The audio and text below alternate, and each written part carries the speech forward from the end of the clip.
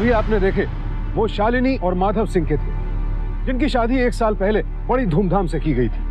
मध्य प्रदेश स्थित माधव सिंह की पुश्तैनी हवेली में दोनों का रिसेप्शन किया गया और दोनों बेहद खुश भी थे। फिर अचानक ऐसा क्या हुआ कि शादी के छह महीने बाद ही शालिनी कहीं गायब हो गई। जो लड़की कमरे में बंद थी, वो शालिनी की छोटी बहन अंजलि थी। उसे इस तरह कैद करके क्यों रखा गया था? किसने कैद किया था उसे? जब ये राज खुलेगा तो आप हैरान रह जाएँगे।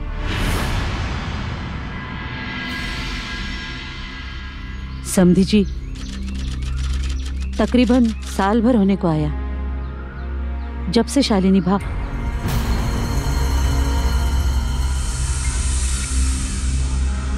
मेरा मतलब है कि जब से वो लापता हुई है, हम सब के लिए वक्त बहुत दुख दे रहा है, पर सबसे ज़्यादा सहा है माधव ने। बहुत प्यार करता था माधव शालिनी से।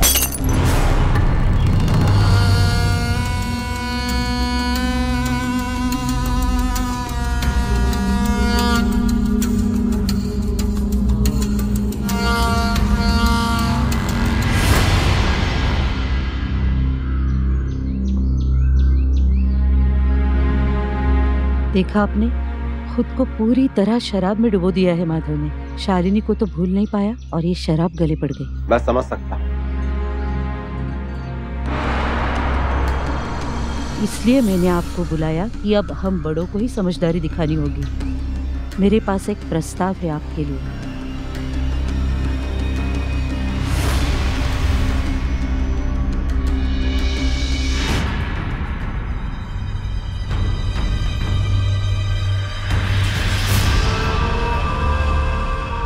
बस कर अंजलि, कितनी बार कहा, अब साल भर होने को आया है। भूल जा और अठारह साल जो मैंने दी के साथ गुजारे उन्हें कैसे भूल जाऊँ? मेरी छोड़ी क्या आप भूल पाए हैं दी को क्या हर वक्त आपके दिमाग में ये सवाल नहीं आता? कि आखिर दी के साथ हुआ क्या था? मुझे ये समझ में नहीं आता कि आप लोग इस बात को टालते क्यों रहते खुलकर बात क्यों नहीं करते आप लोग मुझसे?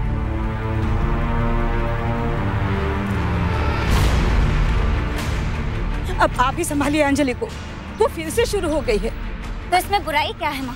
मैं अपनी दी को अच्छी तरह से जानती थी। वो कभी कोई गलत काम कर ही नहीं सकती। इसलिए वो क्यों और कैसे लापता हुई? ये मैं जानकर ही रहा। बस अंजलि बहुत हो चुका है। अरे साल भर से हम लोग शालिनी का दर्द सहन कर रहे हैं। और जब भी उसे भूलना चाहते हैं तुम आकर के उसे कुरेद देती हो। अरे आज जो कुछ हुआ उसके बाद तो हमारे सोचने समझने की शक्ति भी चली गई। क्यों? क्या हुआ?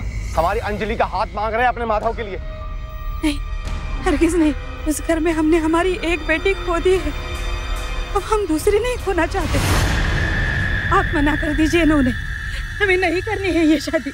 मुझे करनी है। क्या? तुम्हें करनी है शादी? हाँ पापा। मुझे ये शादी करनी है। मैं तुम्हारी शादी उस वीराने में कभी नहीं होने दूँगा। मुझे माधव जीजू से शादी करनी है। अरे पागल हो गई है तू? ये पागलपन नहीं है माँ। ये मेरा विश्वास है कि दी के साथ ज़रूर कुछ ना कुछ गलत हुआ है। और वो क्या है ये जानने के लिए मेरा उस घर में जाना बहुत ज़रूरी है। किसी कीमत पर नहीं। हरगिज नहीं। और ये मेरा अंतिम फैसला है। और मेरा फैसला आपसे अलग हो तो? अंजलि को यकीन ही नहीं था कि उसकी बहन शादी करने के बाद किसी के साथ भाग सकती है। खुदा ना खास्ता, अगर वो भागी भी थी तो उसने 10 मील तक फैला जंगल पैदल तो पार नहीं किया होगा। तो क्या किसी ने उसकी मदद की थी? क्या शालिनी जंगल पार भी कर पाई थी? और अगर हाँ तो फिर उसके बाद शालिनी की कोई खबर क्यों नहीं मिली? ये सारे सवाल अंजलि को रह रहकर झकझोर रहे थे। किसी तरह अंजलि ने अपने माता पिता को इस शादी के लिए राज़ी कर लिया। और अब वो उस हवेली की ओर बढ़ रही थी, क्योंकि उसे यकीन था कि उसे अपनी बहन शालिनी के गुमशुदा होने का राज उस हवेली से ही मिलेगा।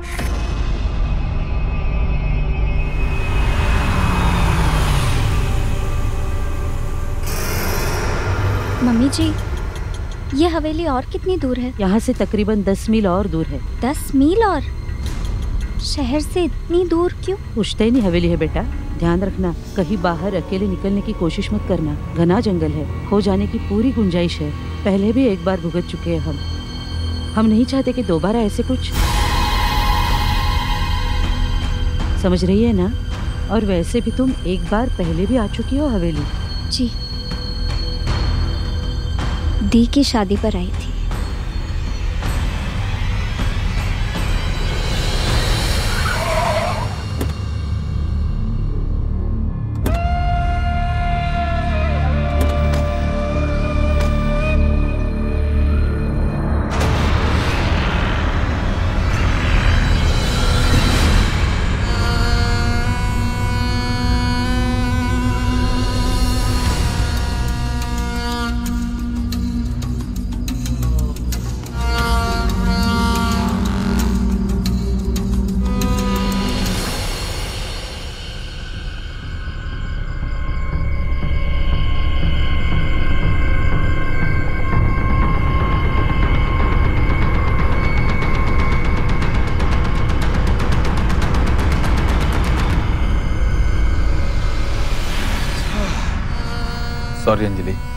इंतज़ार करना पड़ा।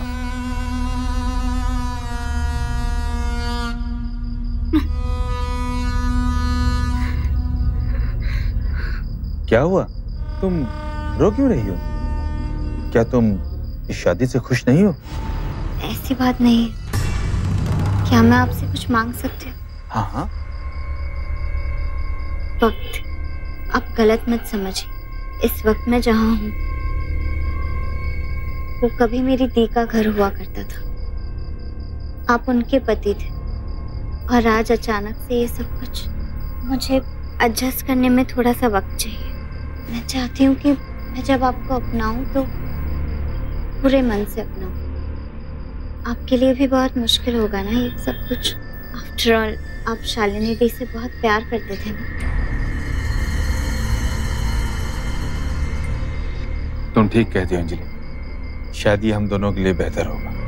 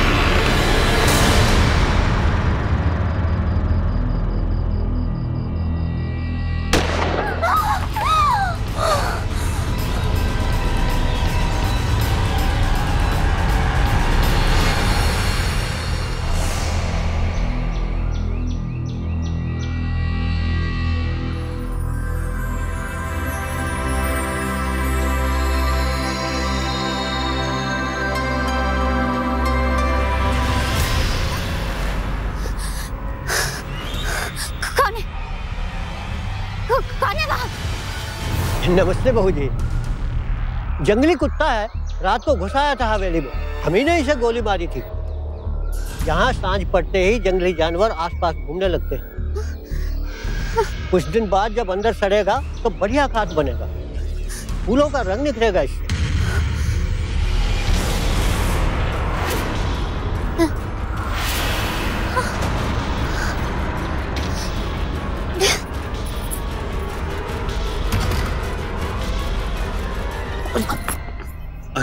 अंजलि इतनी तेज़ी से कहाँ भागी जा रही हो? ऐसा लग रहा है जैसे कोई कोई भूत देख लिया हो तुमने। आ, नहीं नहीं ऐसा कुछ नहीं। वो अ, मैं रसोई घर जा रही थी। सोचा कुछ मदद कर। अच्छा ठीक है जाओ।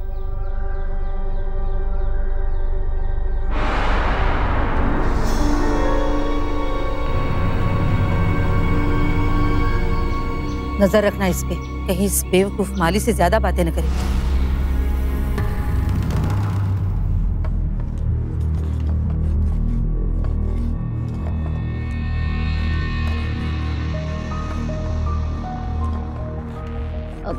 मैं कुछ मदद कर दूँ? आप क्यों करोगी बहू जी यह हमारा काम है हम खुद कर लेंगे।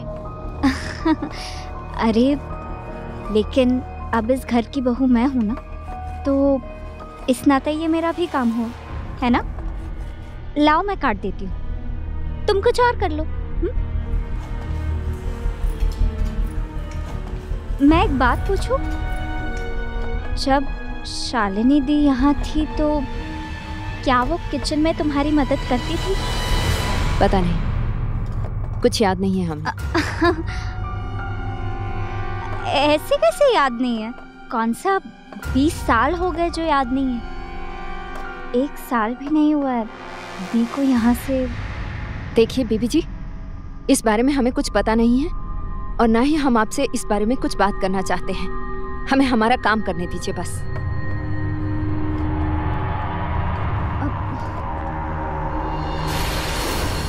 माँ ये जमुना कहाँ रहती है?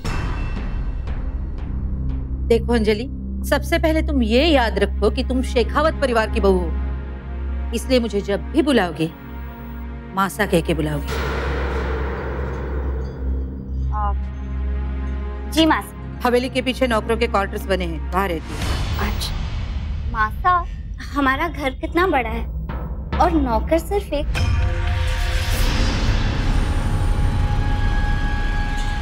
घर बड़ा है पर लोग गिन के तीन हैं काम चल जाता है। मासा मैं सोच रही थी कि क्यों ना हम तीनों शहर के पास कहीं शिफ्ट हो जाए। देखो अंजलि ये शेखावतों की पुश्तैनी हवेली है। यहाँ माधव के पिता दादा परदादा और उससे पहले की कई पीढ़ियाँ यही जन्मी है और यही शांत हुई है। हम ना तो पुश्तैनी रिवाज छोड़ सकते हैं ना तो पुश्तैनी घर समझी? सॉरी वो मैं आगे से ध्यान रखूँगी। कुछ ही वक्त में मैं बिल्कुल शालिनी दी की तरह बन जाऊँगी। मासा कल ना आप मुझे घर की चाबियाँ दे देना। इसलिए वो मैंने देखा घर के काफ़ी सारे कमरों पर ताला लगा है। काफ़ी वक्त से बंद पड़े होंगे। सोचा थोड़ी सी साफ़ सफ़ाई कर लूँ। कोई ज़रूरत नहीं है। जितना घर खुला है हमारी जरूरतों के हिसाब से काफ़ी पर मासा थोड़ी सी साफ़ सफ़ाई कर लेंगे तो क्या बुरा है? मासा दे दीजिए ना। आखिर साफ़ सफ़ाई में बुराई क्या है?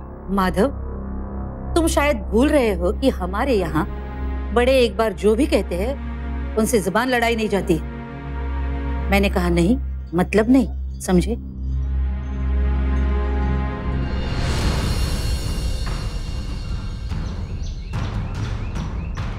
क्या ज़रूरत थी उसकी सिफारिश करने की?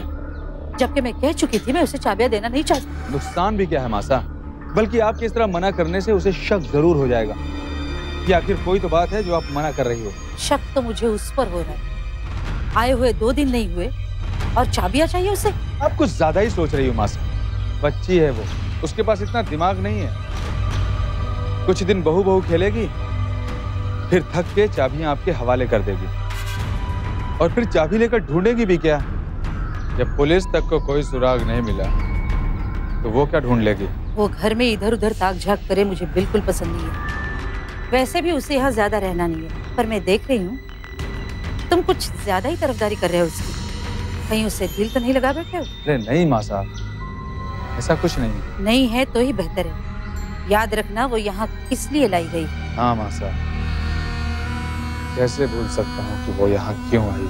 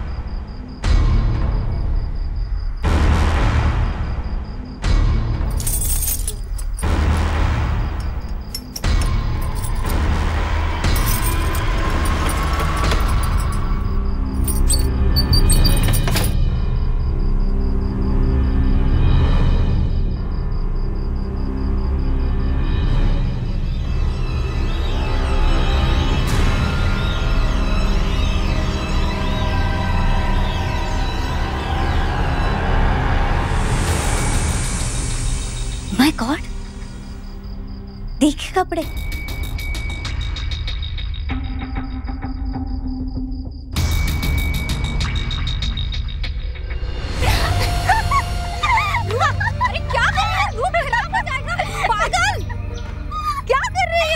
हम्म, शादी का जोड़ा। कैसा है, बता ना। हम्म, अच्छा है। लेकिन मुझे रेड और ब्लू ज़्यादा पसंद है। रेड और ब्लू? क्यों? अरे एकदम बोल्ड कलर है। निखर के सामने आता है। हम्म होले बोल्ड तेरा ही नंबर है समझी? हाँ हाँ क्यों नहीं? जब तुम लाइन से हटोगी तब आएगा ना मेरा नंबर अच्छा बच्ची ये बात है? पागल है जल्दी है बिल्कुल।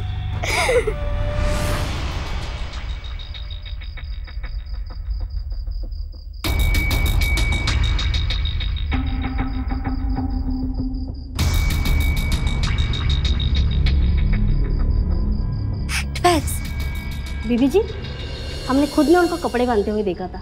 दो सुटकेस लगा रही थी उसके बाद हमने उनको कभी नहीं देखा। इसका मतलब दी यहाँ से भागना चाहती थी पर भाग नहीं पाई। उन्हें रोका गया था। Hello hello Anjali. दी हाय कैसी हो तुम? सब छूट था अंजलि सब दिखावा था। शेखावत हवेली की शान। इन लोगों के पास कुछ भी नहीं है अंजलि कुछ भी नहीं है। सब कुछ कर्जे में डूबा हुआ है। वो लोग पापा से पापा से पैसा ऐटना चाहते हैं। मुझे तो ये भी पता नहीं था कि इन लोगों ने पापा से चालीस लाख रुपए दहेज में लिए हैं। अंजलि तुम पापा को पापा को एक पैसा भी मत देने देना। तुम पापा को बचा लेना। तो मुझे ये बताओ कि वो लोग तुम्हें टॉर्चर वॉर्चर तो नहीं करते ना? वो मुझे हेलो? हेलो दी शालिनी दी हेलो। शालिनी के लापता होने से पहले ये उसका आखिरी फ़ोन था। या यूँ कहिए कि शालिनी अंजलि के सिवा और किसी को फ़ोन कर ही नहीं पाई। अंजलि ने शालिनी की आवाज़ में छिपे दर्द को, उसकी पीड़ा को सुना था, महसूस किया था। इसीलिए वो शालिनी के किसी के साथ भाग जाने की बात पर यकीन नहीं कर पा रही थी। उसे यकीन था कि उसकी बहन के साथ कोई ना कोई अनहोनी हुई थी।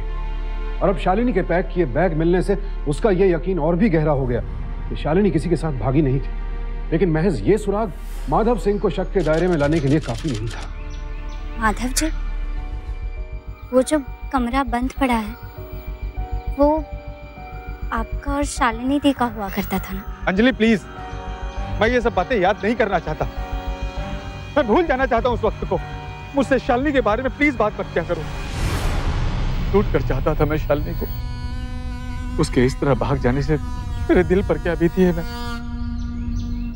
मैं बता नहीं सकता। आई अंडरस्टैंड शायद इसलिए ही मासा ने मुझे कमरे की चाबियाँ नहीं दी ताकि पुरानी यादें ताज़ा ना हो जाए। मुझे खुशी है कि तुम ये बात समझ रही हो। समझ तो अब आ रहा है मुझे कि सिर्फ़ मुझे ही नहीं सारी दुनिया को दी के बारे में झूठ बोला है तुमने। क्या सोच रही हो अंजलि? नहीं कुछ नहीं। माधव जी आप इतनी बड़ी हवेली में पूरा दिन क्या करते हैं? कहीं आते जाते भी नहीं है। हमारी ज़मीन एकड़ों में फैली है। उसे संभालना उसका पेपर वर्क सब देखना पड़ता है। सब कुछ नीचे स्टडी से संभालता हूँ लेकिन तुम ये सब कुछ क्यों पूछ रही हो? मैं तो सोच रही थी कि आपको अच्छी तरह से समझ वही तो मैं भी चाहता हूँ अंजलि। कि हम लोग एक दूसरे को अच्छी तरह से समझ लें। कोई आ जाएगा माली आ जाएगा ठीक है। मुझे भी लगता है ये सब कुछ कमरे में ही सही रहेगा। अंजलि के लिए इस घर का रहस्य दिन ब दिन गहराता जा रहा था। इस घर के लोगों के व्यवहार से उसे डर सा लगने लगा था। एक कठोर सास, एक घरेलू नौकरानी जो कुछ जानती थी लेकिन उसके बारे में बात नहीं करना चाहती थी। एक विक्षिप्त सा माली जिसका पौधे उगाने का ढंग ही कुछ निराला था। इन सब बातों से अंजलि पहले ही डरी हुई थी। अब उसके सामने एक नई चुनौती थी। माधव सिंह को अपने करीब आने से रोकना, जो कि आसान काम नहीं था, क्योंकि अंजलि उसकी पत्नी थी और माधव सिर्फ़ अपना पति होने का अधिकार मांग रहा था। इस मुसीबत से बचने के लिए अंजलि ने एक नया रास्ता ढूंढा। अंजलि। वहाँ क्यों खड़ी हो?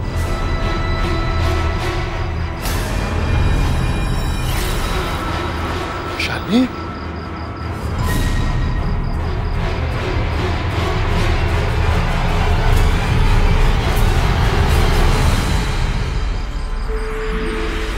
अंजलि! ये क्या मज़ाक है? तुमने शालिनी के कपड़े क्यों पहन रखे हैं? तुम्हें पता है ना कि मैं मैं शालिनी की यादों को भुलाना चाहता हूँ? आई एम सॉरी वो मुझे लगा कि आपको शालिनी दी बहुत पसंद है। इसलिए मैं उनकी तरह तैयार होकर आई। मैं तो बस आपको खुश करना चाहती थी। सो जाओ। सो जाओ। सो जाओ तुम।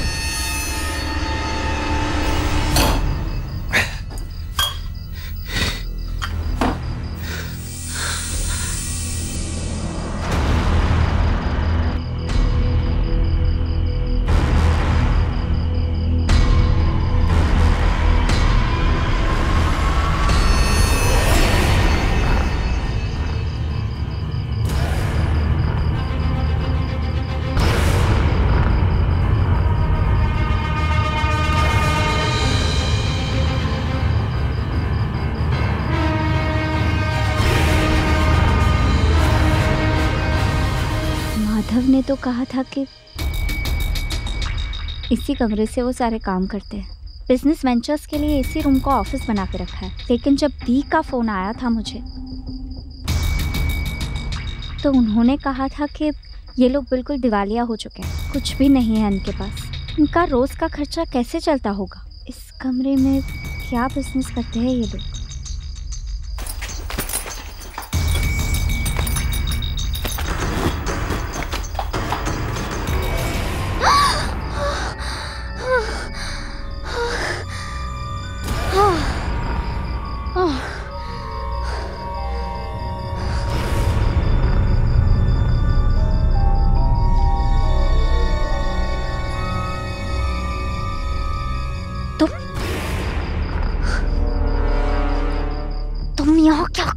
आप यहाँ क्या कर रही हैं बहू जी? हम देख रहे हैं आप हमेशा ताक झाँक करती रहती हैं। वो भी कुछ ऐसा ही ढूंढती थी। इससे पहले। वो कौन? शालिनी दी? ये नहीं बताऊँगा। पर ढूंढती थी। खुद ही गायब हो गई। देखो ये सब मेरे लिए जानना बहुत ज़रूरी है। तुम्हें जो कुछ भी पता है तुम प्लीज़ मुझे बता दो। यहाँ क्या हुआ था उनके साथ? क्या किया है ये लोगों ने शालिनी दीदी के साथ? वो जाग गए हैं। उन्होंने आपसे हमें बात करने के लिए मने किया है। अगर उन्हें मालूम हो गया कि हमने आपसे बात की है तो मार देंगे। जाओ यहाँ से। जाओ। ठीक है मैं मैं जाती हूँ। लेकिन लेकिन कल मुझे दिन के समय मिल सकते हो? जब आसपास कोई ना हो? ठीक है। कल फुलवारी के पास।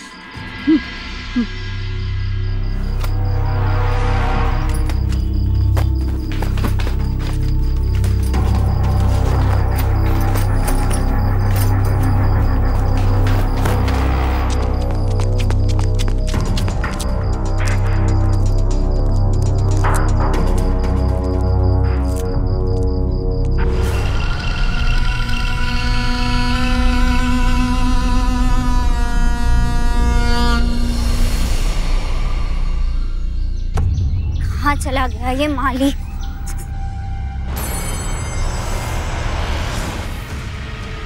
क्या हुआ अंजलि?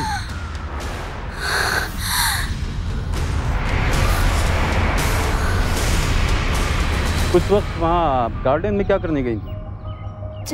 जी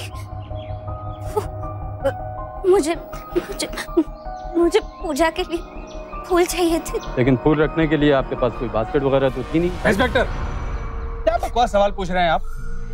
कत्ल की वजह और सुराग ढूँढने के बजाय आप अब मेरी पत्नी को नाहक परेशान कर रहे हैं। आपको पता है आप किससे बात कर रहे हैं? माधव सिंह शेखावत की पत्नी से बात कर रहे हैं आप। माधव जी, शांत हो जाइए। मैं तो यूँ ही है एक रूटीन सवाल कर रहा था इनसे। माधव सिंह जी, आइए जरा बात कर आइए।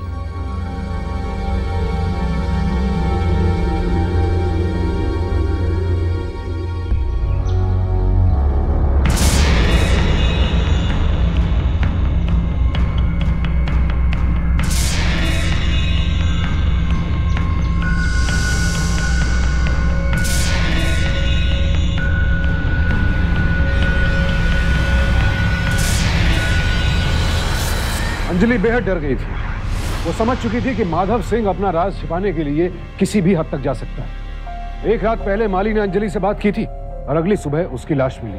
अब अंजलि को यकीन हो गया था कि उसकी बहन के साथ ज़रूर कुछ बुरा हुआ है। और वो ससुराल में नहीं बल्कि निर्मम हत्यारों के बीच है जो अपनी असलियत छिपाए रखने के लिए कुछ भी कर सकते हैं। पापा प्रणाम। जीते रहो बेटा। और घर में सब ठीक है? हाँ सब आपका आशीर्वाद है। पापा एक बात करनी थी। वो अभी तक ज़मीन के पेपर्स मेरे नाम ट्रांसफ़र नहीं हुए हैं। हाँ बेटा वो कोर्ट में है रजिस्ट्रेशन के लिए। और उसमें दो चार दिन का वक्त तो लगेगा। जैसे ही काम पूरा होगा मैं खुद तुम्हें आकर के दे दूँगा। नहीं नहीं पापा ऐसी कोई जल्दी नहीं है। मैं तो बस इसलिए पूछ रहा था कि अगर इस मामले में आपको मेरे किसी हेल्प की ज़रूरत होगी तो बताइएगा। नहीं बेटा मैं खुद संभालूँगा। तुम बस अपना ख्याल रखो। और हाँ अंजलि कैसी है? बहुत खुश है पापा। बाहर गार्डन में टहल रही है। अभी इतने बड़े घर को समझने में थोड़ा वक्त लग रहा है उसे। आती है तो बात करवाता हूँ मैं आपसे। ठीक है बेटा। ख्याल रखना अच्छा पापा प्रणाम। कितने दिन और? कह रहा है दो चार दिन और लगेंगे। मासा जब तक वो ज़मीन के पेपर्स मेरे नाम ट्रांसफ़र नहीं हो जाते तब तक इसे ज़िंदा रखना ही पड़ेगा।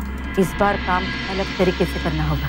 अब तक शालिनी की गुमशुदगी की रिपोर्ट बन नहीं हुई है। अगर ऐसे में दूसरा कांड हो गया ना तो हम पर उंगली उठ सकती है।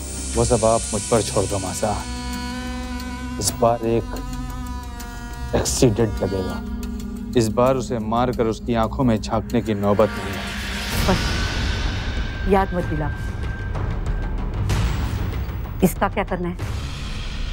कहीं उसकी अपने बाप से बात हो गई तो? मासा एक काम करता हूँ मैं।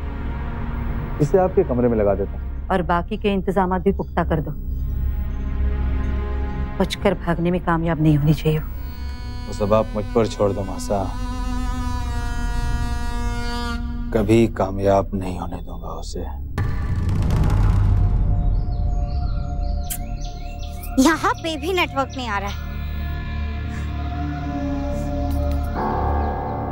अब तो पापा को लैंडलाइन से ही फ़ोन करना पड़ेगा।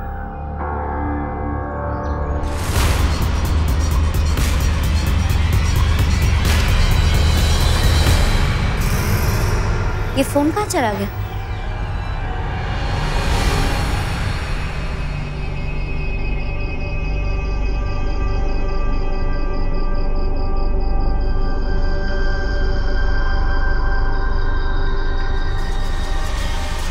जंगली कुत्ता है। रात को घुसाया था हवेली में। हम ने इसे गोली मारी थी। कुछ दिन बाद जब अंदर सड़ेगा तो बढ़िया खाद बनेगा। फूलों का रंग निकलेगा इससे।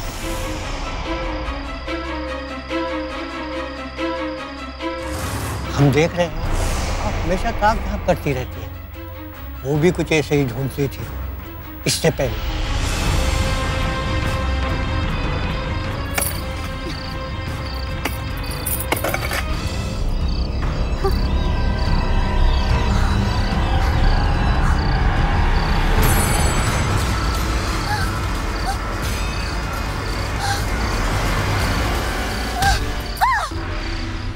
जिस गली जाना नहीं उसका रास्ता पूछना कभी कभी नुकसानदेह हो जाता है अंजलि।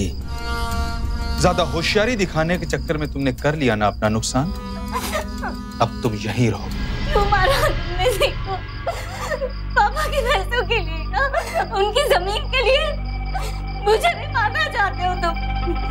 मिले हो तुम। मेरी बहन के कातिल हो तुम। चिल्लाओ!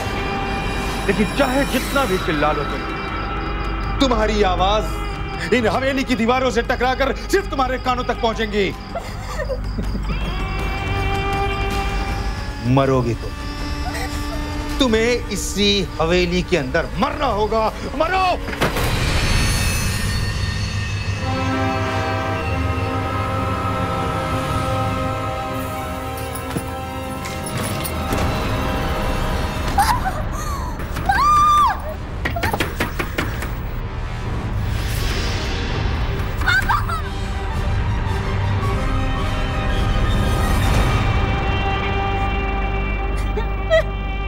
क्यों नहीं हो तुम अंजलि अगर उन्होंने वाकई शालिनी के साथ कुछ ऐसा किया है, तुम्हें क्या लगता है? तुम वहाँ पर सेफ़ रह पाओगी? अगर तुम्हें कुछ हो गया तो मैं अपने आप को ज़िंदगी भर कभी माफ़ नहीं कर पाऊँगा। अब अंजलि को एहसास हो रहा था कि अपने पिता की बात ना मानकर उसने कितनी बड़ी भूल की थी। इतने निर्मम और क्रूर हथियारों के सामने वो बिल्कुल बेबस थी। इतनी बेबस कि अपनी आवाज़ भी अपने माता पिता तक नहीं पहुँचा पा रही थी। उसे लगने लगा था कि शायद अपनी बहन शालिनी की मौत के राज के साथ साथ वो खुद भी एक राज बनकर रह जाएगी। वो जानती थी कि उसकी ज़िंदगी खतरे में थी लेकिन उसे भागने का कोई रास्ता नज़र नहीं आ रहा चली गई? लेकिन ऐसे कैसे चली गई? कुछ तो कहा होगा। क्या उसे पता नहीं था कि हम लोग आने वाले हैं? बाज़ार गई है कुछ लाने के लिए। बहुत एक्साइटेड है इस घर को फिर से डेकोरेट करने के लिए। जमुना भी गई है माधव की कार में? हाँ मतलब बहुत दिनों से यहाँ बोर हो रही थी तो जाने की जिद की है फिर हमने रोका नहीं। और फिर पापा शादी के बाद आप लोग पहली बार यहाँ आ रहे थे तो अंजलि ने सोचा कि बाज़ार से आपके लिए कुछ लेती है। अब छोड़िए भी समझी जी। आप तो जानते ही आजकल के बच्चों को। आप चाय पी लीजिए। जी। माधव बेटा ये ज़मीन के ट्रांसफ़र के पेपर है। रजिस्टर्ड है। देख लो। अरे आपने करवाया तो ठीक ही होगा। इसमें देखने की क्या ज़रूरत है? जी तो अब हमें आप इजाज़त दीजिए। हम चलते हैं। थोड़ी देर के लिए रुकते हैं ना जी। बस एक बार अंजलि आएगी तो उसे मिलते जाएँगे। फिर बार बार इतनी दूर आना तो नहीं होता है ना? जी। चलिए मैं तब तक हमारी स्टेट दिखा के लाती हूँ।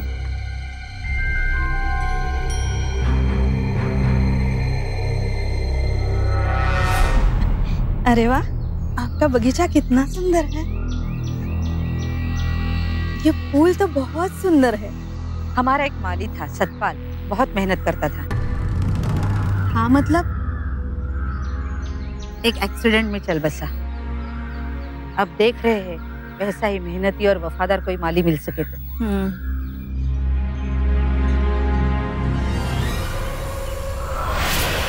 माधव की कार तो यही खड़ी है। फिर अंजलि किस कार में गई?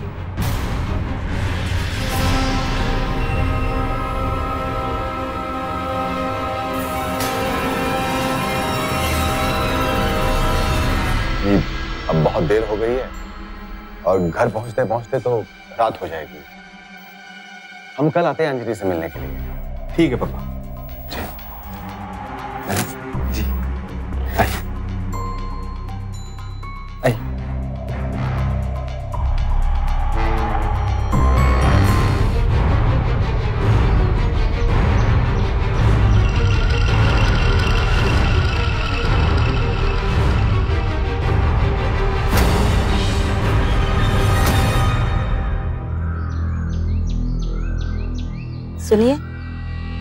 लोग तो कह रहे थे कि अंजलि कार में बसार गई है। उनके पास तो एक ही कार है ना? हाँ पर क्यों? मैंने पीछे गैरेज में एक कार देखी उनकी। मुझे लगता है ज़रूर कुछ गड़बड़ है। हमसे ज़रूर कुछ छिपा रहे हैं लेकिन हम उनसे सीधे बात भी तो नहीं कर सकते। क्या हुआ? रुक क्यों गए?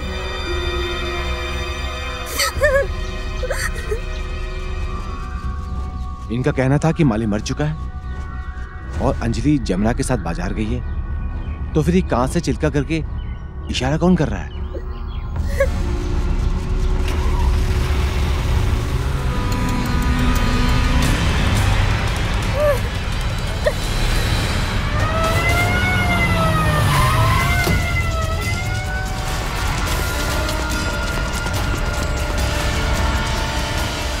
माधव सिंह, हवेली को चारों तरफ़ से घेर लिया गया है। अंजलि को छोड़ दो।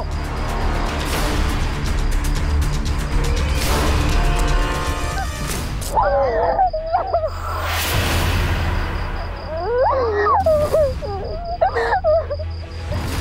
भागी नहीं थी दी भागी नहीं थी इन लोगों ने दी को मार डाला। पैसों की लालच में आकर उन्होंने दी को यही इसी गार्डन में दफना दिया था। ये लोग मुझे भी मारना चाहते मुझे भी मारना बस बेटा मुझे तो पहले शक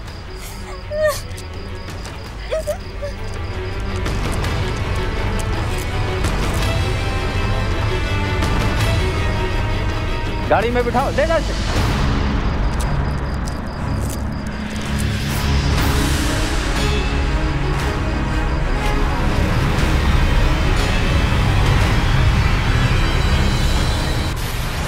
फॉरेंसिक रिपोर्ट से ये तो पता चल ही जाएगा कि शालिनी की मौत कैसे हुई। लेकिन हम तुमसे सुनना चाहते हैं माधव सिंह। बताओ उसे क्यों मारा? हमने उसे नहीं मारा। हम क्यों मारेंगे? ये हमारे खिलाफ कोई साजिश है। साजिश? देखो माधव सिंह, तुम जानते हो कि पुलिस वालों के पास और भी तरीके होते हैं सच उगलवाने के। मैं नहीं चाहता हूँ सब तुम पर आजमाया जाए। इसलिए बताओ बताओ कि क्या हुआ था। इंस्पेक्टर, शालिनी से शादी के वक्त हमें दहेज में चालीस लाख रुपए मिले थे। हमने उस पर दबाव डाला कि वो अपने पिता से और पैसे लेकर आए, लेकिन उसने मना कर दिया, क्योंकि वो जान चुकी थी कि हम लोग दिवालिया हो चुके हैं। वो बागी होने लगी थी। पुलिस पे जाने की धमकी देने लगी थी हमें। और इसीलिए एक रात तुमने शालिनी, मासा से मैंने तुम्हें बचा लिया। लेकिन मुझसे तुम्हें कौन बचाएगा?